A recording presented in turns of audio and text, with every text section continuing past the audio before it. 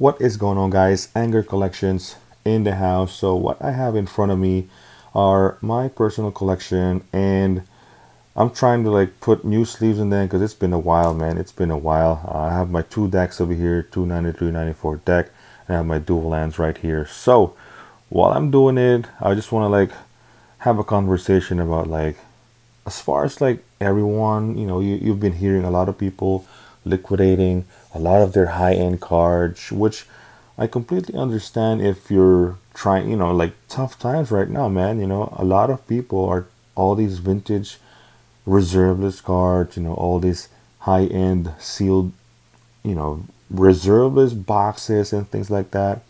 Um, and like I said, I understand, man. Like, like with these uh, lands, like I have like the uh, this three right here from Urza Saga. Uh, Serra's Sanctum, I don't know if this one uh, shot up already because uh, enchantment decks are really, really popular right now. So uh, these cards, man, uh, th these are it. I'm telling you, like especially like the dual lands, the high ends. So these are my complete 40 uh, dual lands. So you got the Badlands right here, uh, Tundra. So all I'm saying is I completely understand why a lot of people are liquidating uh, because times are very tough right now, man. I don't know if it's gonna get better in the next few years or it's, it's just gonna like, you know, it's gonna be like this, man. It's gonna go back to normal.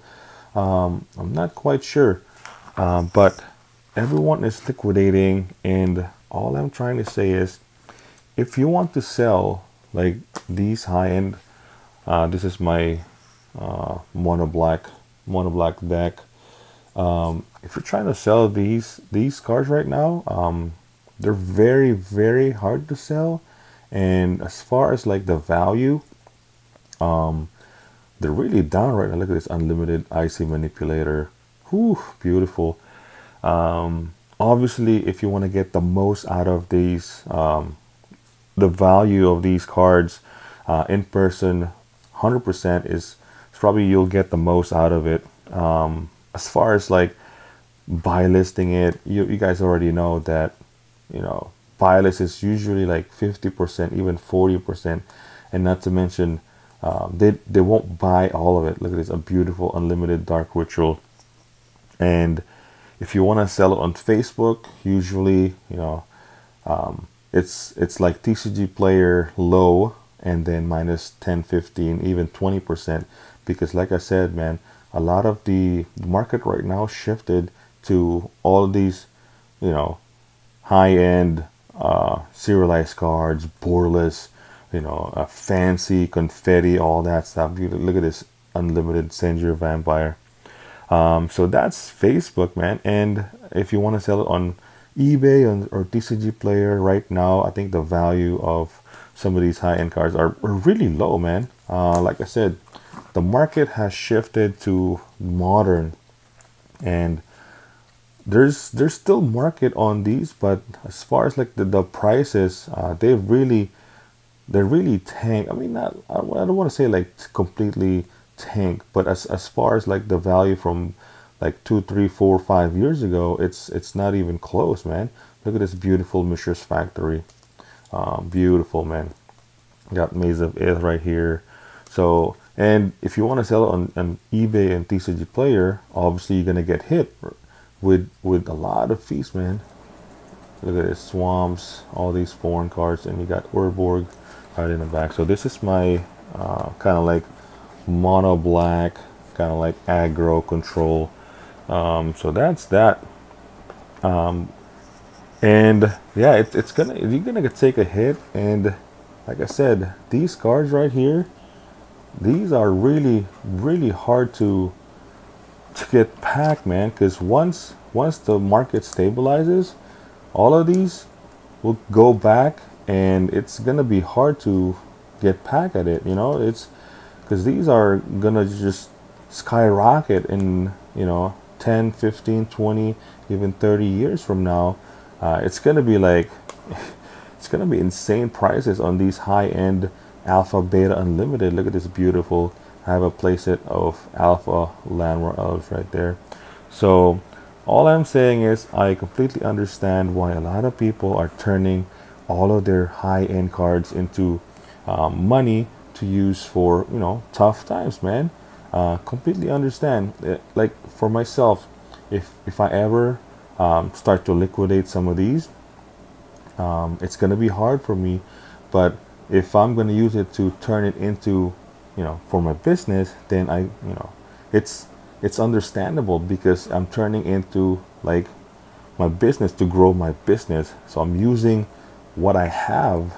Um, but but for others, I completely understand. Man, look at this unlimited psionic blast, and you got um, Serendib Efreet over here. Uh, so I completely understand, man. But like I said, if you ever want to sell all these, uh, the best bet is definitely going to be in person. Like I w- I wouldn't like sell a chaos orb and ship it eBay or TCG player. That's just me, personal preference. I'd rather just like fly or like in person, you know, get the money right away.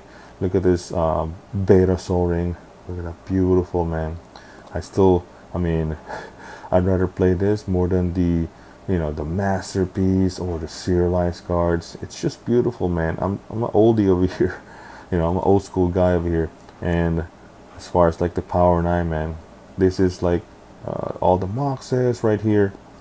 And then you get the three blue cards Ancestral Recall, Time Walk, Time Twister, and then the big bag, big, yeah, big bad boy, Black Lotus.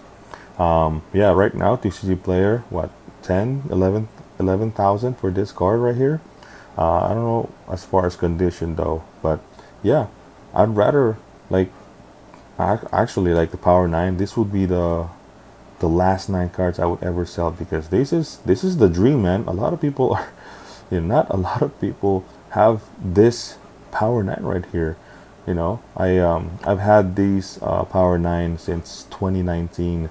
I completed this in 2019. So if I ever gonna sell this, uh, most likely it's gonna go back to the business. But like I said, I'd rather sell all this first and then keep keep these ones. But I don't think that's gonna happen. But we will see. I, I wouldn't say never. But like I said, it's so hard to get rid of this. Um, like in person for sure, um, but like n- buy list, no way. You know, eBay TCG player, absolutely not, man. Uh, but yeah, so um, like I said, uh, a lot of uh, you've been hearing a lot of people liquidating their high-end cards. Look at the City of Brass, man. Uh, I got strip mines right here. Um, it's so hard. Look at this library of Alexandria, signed by Mark Poole. There you go. Nice, beautiful, right? So I completely understand, but last thing I want to say is these cards, these are it. You know, these are, you know, what you call. They're not serialized cards. They're not fancy. These are it. If you talk about vintage Magic the Gathering cards, vintage like it the the absolute you know high end classic you know you're, you're talking about like the old school the best card game ever created by mankind. These are it. So who knows eventually 10 15 50 100 years man. These are it. So alright if you're gonna liquidate it that, that's totally fine man if you need the money but these are it man. These are definitely it. I wouldn't recommend it but i completely understand um, but if you ever try to sell it hands down in person. I wouldn't like i wouldn't like sell it to like you know other platforms man. But yeah.